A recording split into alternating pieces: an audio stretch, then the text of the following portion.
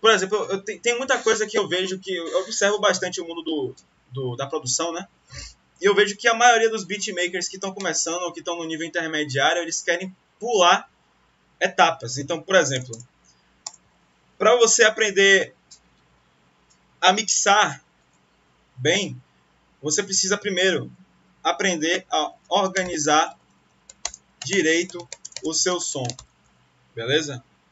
Não tem como você ser desorganizado, tipo, ah, sei lá, não colocar todos os elementos aqui em ordem no mixer, não tem nome certinho.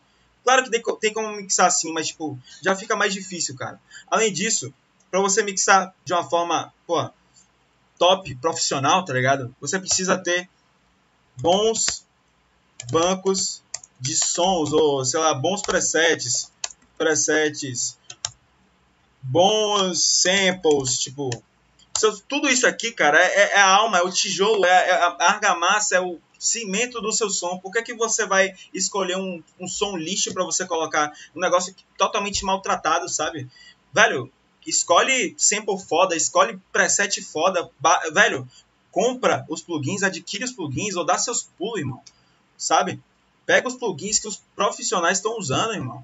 Não fica usando só coisa, tipo, tudo bem, tem como você fazer miséria com coisa do FL Studio? Tem, cara. Claro que tem. Com os nativos, porra, tem muitos bons, tem muitos bons é, plugins.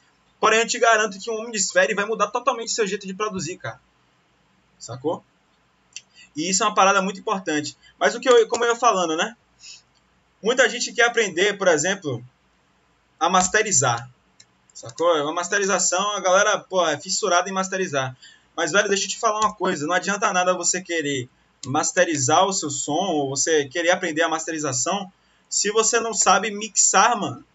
Tá ligado? Então aprende primeiro, aprende primeiro a mixar bem pra caralho. Sacou, irmão? Eu não tô falando que vai ser que é muito complicado, não. É simples você mixar bem pra caralho. É muito simples, irmão. A questão é que não é fácil até você chegar lá, até você chegar a essa simplicidade. Você precisa de um método, um workflow, sacou? Você precisa saber o que, que você está fazendo, sacou?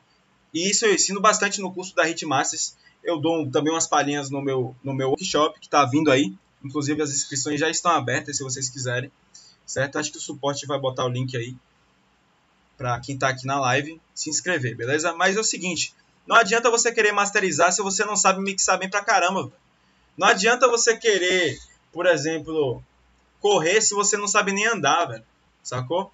Então, se você tá engateando ainda, primeiro aprende a dar seus primeiros passos, irmão. Depois você aprende a correr. Essa é a ordem. Não é de engatear para correr, senão você vai pular etapas e você vai acabar caindo, velho. Caindo feio e se machucando.